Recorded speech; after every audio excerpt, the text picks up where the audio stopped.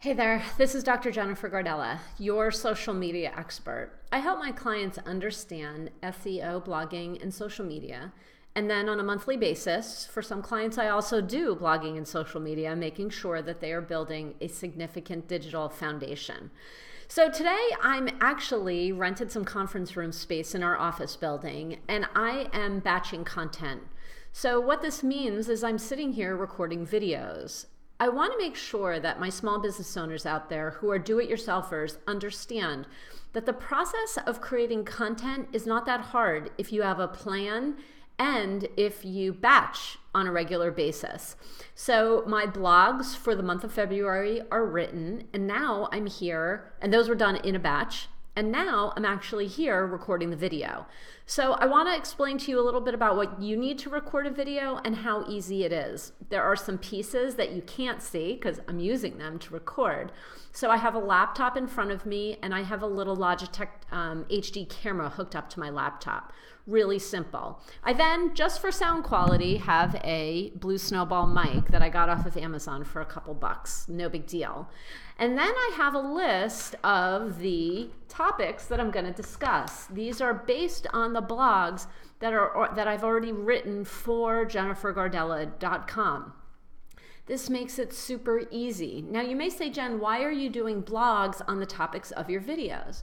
Well, as we know, you have people, you have ideal clients that you are trying to reach, and they may love to read a blog, which is why you have a blog. They may also like to listen to a video, they may not like to read, they just might, might love to watch a video. So it's really important to have a video for them to watch. It's making sure that you're reaching your ideal clients with your information in the way that they are trying to digest it. And for not that much money, you can set yourself up to record the video. Now, what do you do after you record? You can add some jazzy things to it. You can do some post production. But if that's not your thing, then don't do it. You don't need to look like one of the huge marketers that has a team behind them. I don't like the way all of that looks. I think it loses a lot of authenticity. So I don't do it.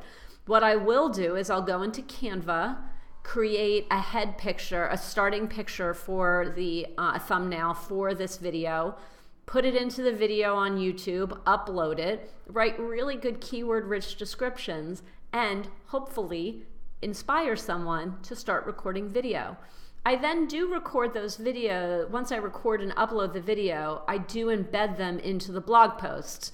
Now, I didn't do a blog on how to make a great video, so this one won't be embedded, but I'm doing the next one on LinkedIn. Again, that blog is already on my website and I'll embed that video. If you have any questions about any of this, I totally get it. Tech is a lot to take in, video is a lot to take in.